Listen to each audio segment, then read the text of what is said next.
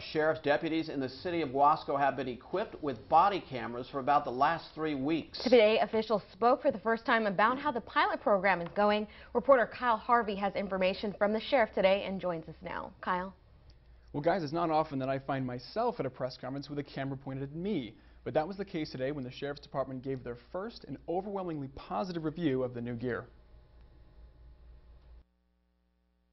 The video you're about to see of a recent police shooting in South Carolina is graphic and may be disturbing to some viewers. Video evidence. Without it, it's hard for a community to agree on what exactly happened during an officer-involved shooting. And so in an effort to provide greater accountability as well as protection for members of law enforcement everywhere, departments across the country have begun to use these, body cameras.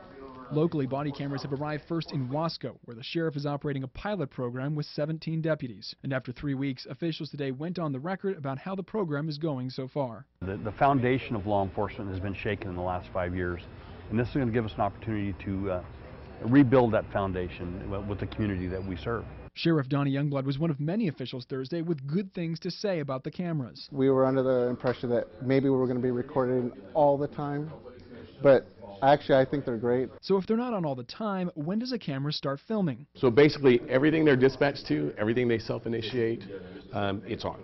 And as much as the body cameras are meant to help bring clarity in an unfortunate incident of an officer-involved shooting like this one in Wasco in January, deputies say they will also help with more day-to-day -day happenings like car accidents. One of the subjects who was driving uh, gave me one statement, and then later on he changed his version of what happened. So I said, you know, I have it on video.